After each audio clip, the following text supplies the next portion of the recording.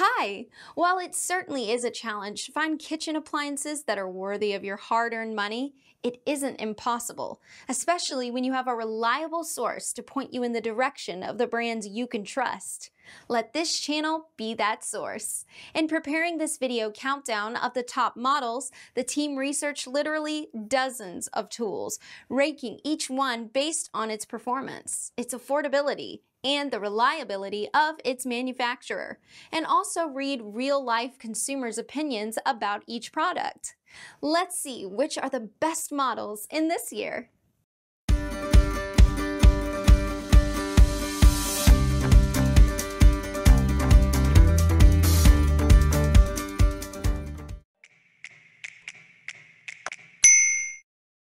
Hi, I'm Phil McKnight from Breville and today I'd like to show you how to get the most out of your Smart Grinder Pro. When grinding for espresso, it's really important that you use a single wall filter basket. That way you'll get the maximum flavour potential of the coffee that you're making. So what we're going to do now is we're just going to insert our single wall filter basket into our portafilter. The next thing you need to do is make sure that you insert the correct cradle into the grinder. So our grinder comes with two cradles, one for 50 slash 54 millimetre and 58 millimetre. Today we're going to use the 58 millimetre. So what we're going to do now is we're just going to grind into our portafilter. So we just insert our portafilter into our grinder cradle. We set our grind size. So here we have it on about 14 to start. Just adjust that depending on flow rate. We're also going to set the number of shots. So we're using a double cup basket, so we're setting this to two shots. And now we can start the grinding process. We can do that by pressing the start cancel button or momentarily just pressing the portafilter in and releasing.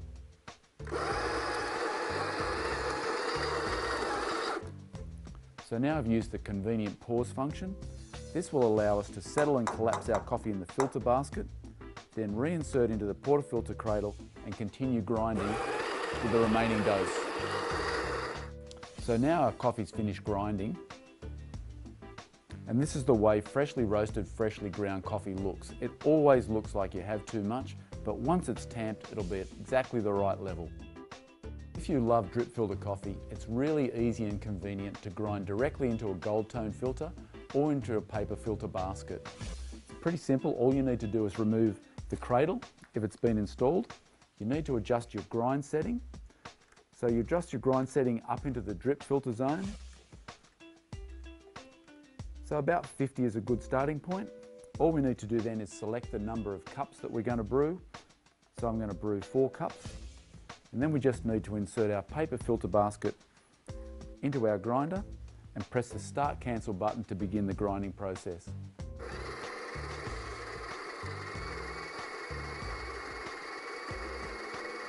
And there we are, we're ready to brew our drip filter coffee.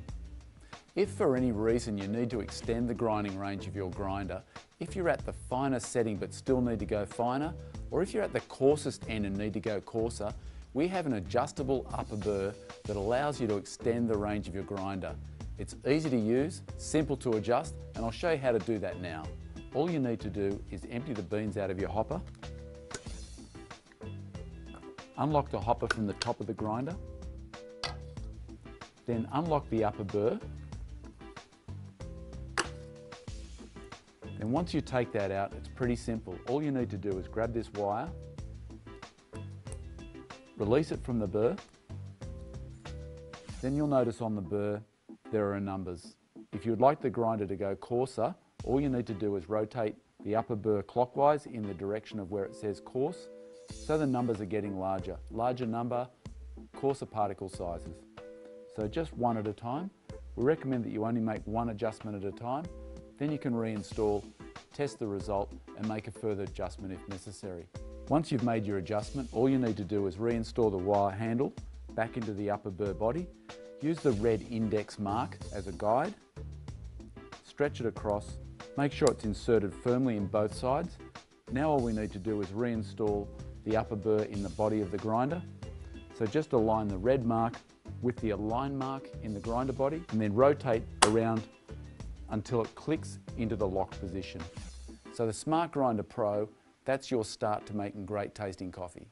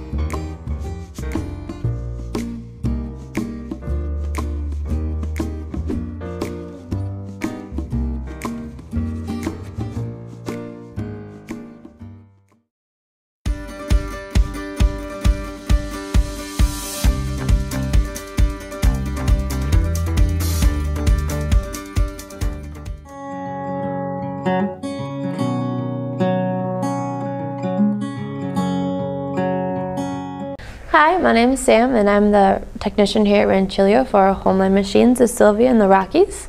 And we just want to show you today some of the, the basics of our machines. Rancilio offers two different models of our Rocky grinders. We have our um, SD, which is Sans doser, so it doesn't have a doser on it. And this one is our SS, which has a doser on it. Um, so the main difference between these two is that when the coffee is ground, the, the grounds go into this chamber here. And then we can put them into the portafilter basket with this lever. And then with this one, our, our doserless one, um, you can put the portafilter onto the fork and then the grounds will go directly into your basket when the button is activated. This machine has two buttons that need to be activated in order for the machine to turn on. So we have the main power switch here, um, and then we also have this button here that when activated, it'll start up the motor and it'll grind our coffee and the coffee will come out of the chute. So some of our features of our Rocky SD, our, our doserless, is that it is an adjustable um, grind. So what you can do is you press this button, you can move the whole hopper and what this does is it's telling the burrs inside how far apart they need to be from each other. Um, so what it does is that the more higher number you get, the further apart your burrs are going to be, and this will affect how coarse your grind is.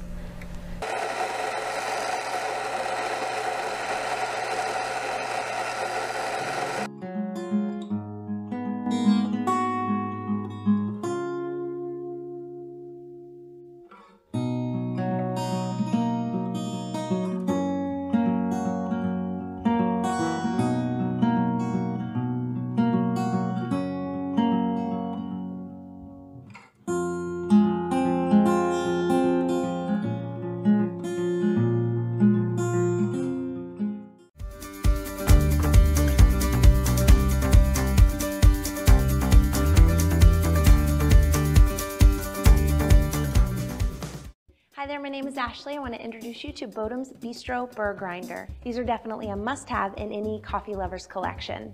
The beauty of a burr grinder as opposed to a blade grinder is that it actually crushes the beans as opposed to slicing them, which allows the flavor profile to remain intact. The catcher here is made of borosilicate glass, which actually helps eliminate static cling. As you can see here, there are actually several settings which allow you to ground coarsely for a French press, all the way to finely for a cup of espresso. There's also a timer feature which allows you to set the amount of time that you need for your grind. If you're serious about your coffee routine, this is definitely a grinder for you.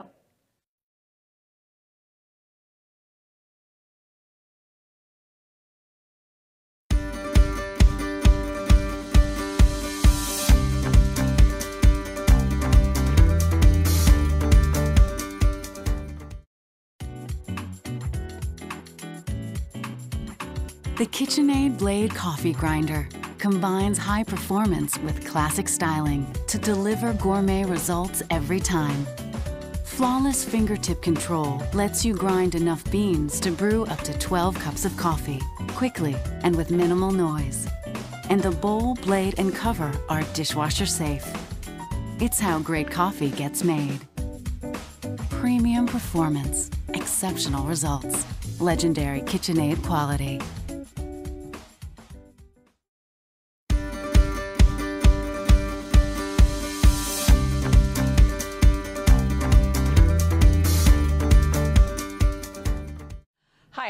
Rogers, and this is the Cuisinart Supreme Grind Burr Grinder. It's great, especially if you are a coffee lover. It's important to grind your beans right before you're brewing your coffee for the freshest, most flavorful cup. This product is really interesting because you can set it for anywhere from 4 to 18 cups by sliding the bar. And what happens is when you hit start, it will grind exactly the right amount of coffee that you need for your coffee maker. The other thing that's nice is it's a half pound hopper, which is removable. So is the lid. So you just pour your beans right in. Put the lid on. And I should also mention this is the removable chamber that holds the ground beans. It holds up to enough coffee for 32 cups. You just choose your size and you hit the power bar. And today I'm just going to choose four You hit start and it's automatically gonna grind the exact amount of beans that you want. But something I should mention is that it goes from fine just by twisting this all the way to coarse. And fine is used for espresso and coarse would be used for things like French press. Today I'm gonna put it on medium and I'm just gonna hit start.